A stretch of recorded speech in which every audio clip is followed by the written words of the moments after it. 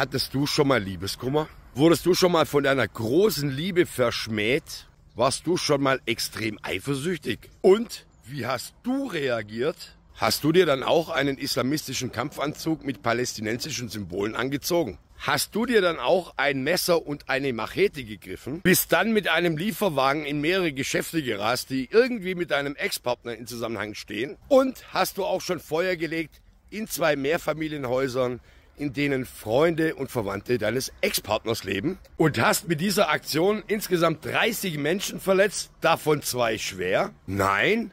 Also Herbert Reul, CDU, Innenminister von Nordrhein-Westfalen, sagt, sowas gibt's schon immer. Aber die gibt's immer schon, die ist auch nicht neu, ne? dass Menschen, weil sie private Rachegelüste haben, quasi Amok laufen, um es mal ein bisschen unsauber zu formulieren. Und dass da alle Mittel eingesetzt werden, ist ja in der Vielfalt vielleicht neu. Aber sowas gab's immer. Also Angriffe auf den, den, über den man sich ärgert oder erbost ist. Und der war möglicherweise auch nicht nur familiär sehr angespannt, sondern wahrscheinlich war der auch psychisch nicht hundertprozentig auf der Linie. Na also Leute, ein psychisch verwirrter Einzeltäter, das alles. Und auf die Frage, ob Messer und Macheten immer mehr zum Problem werden, sagte er das hier.